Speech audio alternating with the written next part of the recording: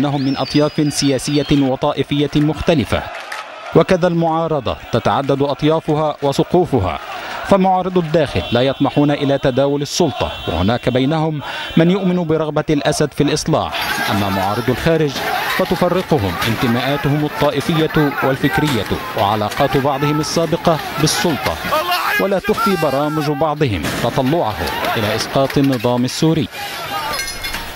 ومعنا من دمشق الناشط الحقوقي هيثم المالح سيد الهاثم سيد المالح هل أرضاكم شيء في خطاب الرئيس الأسد؟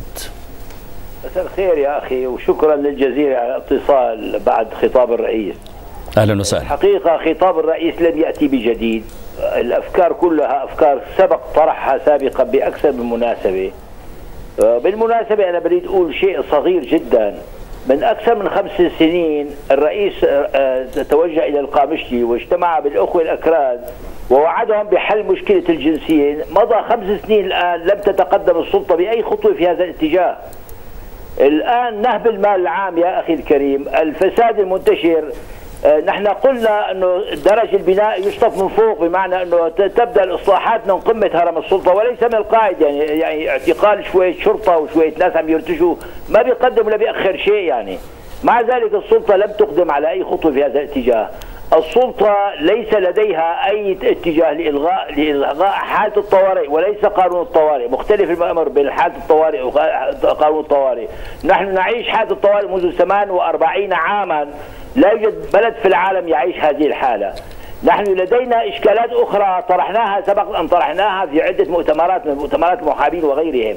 يعني نحن لدينا مثلا تشريع خاص يحصن أي واحد من الأجهزة الأمنية يرتكب جريمة أن لا يساق إلى القضاء فكيف بنا وأنا أرسلت رسالة خاصة للرئيس وبينت له نص هذه المادة بالتحديد يعني عرضتها أمامه إنه هذه مادة تحصن الأفراد قوى الأمن من من السوق إلى القضاء في حال ارتكاب جرائم.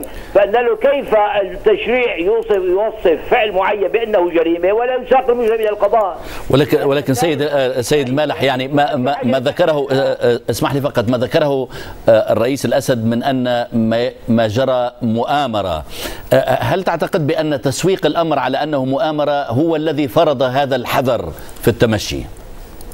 يا سيدي الكريم السلطة تريد أن تحمي نفسها.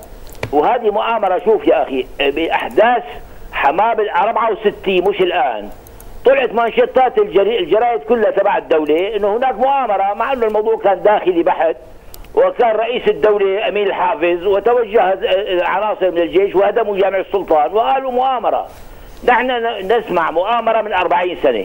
ولن ولن يتغير هذا لأنه هذا ما تجعل يجعل السلطة تتمترس حول مفاهيم معينة لإحباط حركة الناس. الآن ما أحد يصدق الآن أنه في مؤامرة ولا في قوى خارجية هذا كلام كله غير صحيح.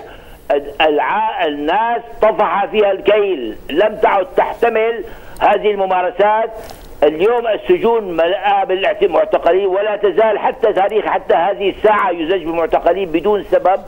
أنتم شفتوا مثلا ما جرى أمام وزارة الداخلية؟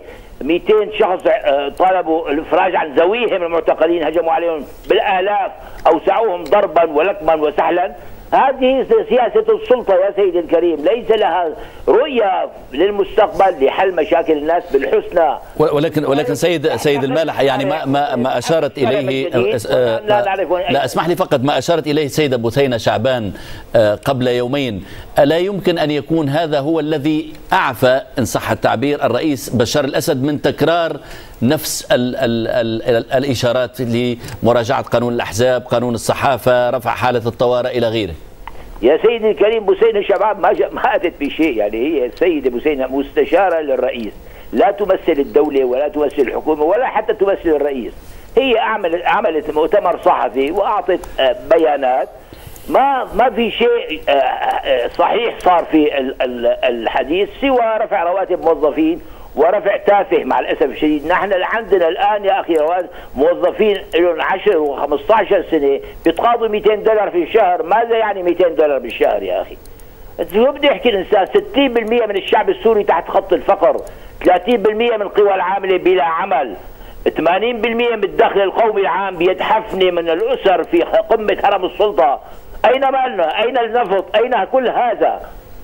الفقير يزداد فقرا والغنى يزداد تخمة وثراء وأموالا. مليارات الدولارات في خارج سوريا في البنوك هنا وهناك. أي إصلاح هذا يريدون؟ أي إصلاح؟ شكرا جزيلا لك الناشط الحقوقي السوري هيثم المالح.